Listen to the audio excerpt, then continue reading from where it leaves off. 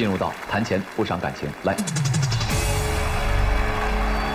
呃，是这样的，我给你的岗位呢是销售岗啊，然后呢可以直接在你现在的城市石家庄，因为我们其实现在有一款产品叫神批，它呢是给批发商用的。我为什么会给你留这个岗位到现在呢？因为你之前其实，在快消品公司应该是跟快销有关系的，所以实际上我们这个产品呢是要推给那个呃做这个流通的批发商的啊，也是销售岗。然后呢，石家庄这个城市呢也是我们要拓展的城市，岗位的薪资呢底。底薪是呃三千五啊，然后呢加提成啊，呃这个提成的话，如果说你做得好的话，一个月应该是月薪可以到万元以上的。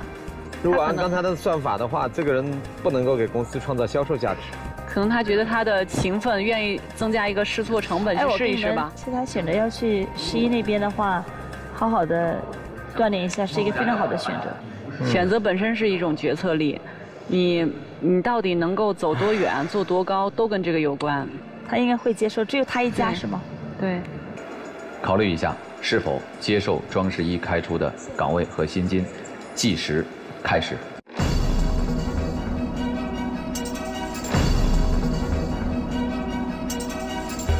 好，霍小伟，最后你的选择是什么？谢谢，再见。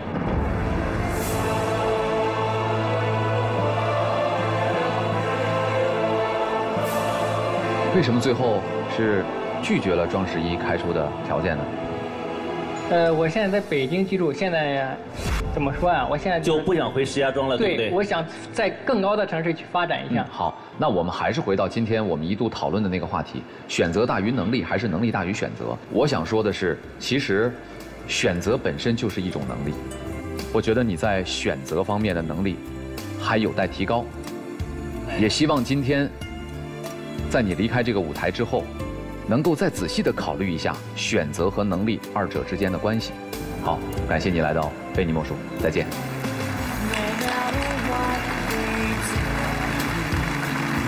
呃，我对今天的表现感觉不是特别满意。各位老师给我中肯的一个建议，呃，对我以后的发展给了很大的鼓励。如果他没有遇到职场贵人，基本上他的打工生涯就报废了，因为他。没有任何一个沉淀，对。然后他对自己是越来越不自信。我预判啊，他应该不久的将来还会回到石家庄。就有的时候我们会看，看到一些，预见到一些，但是不代表我们可以改变他。对。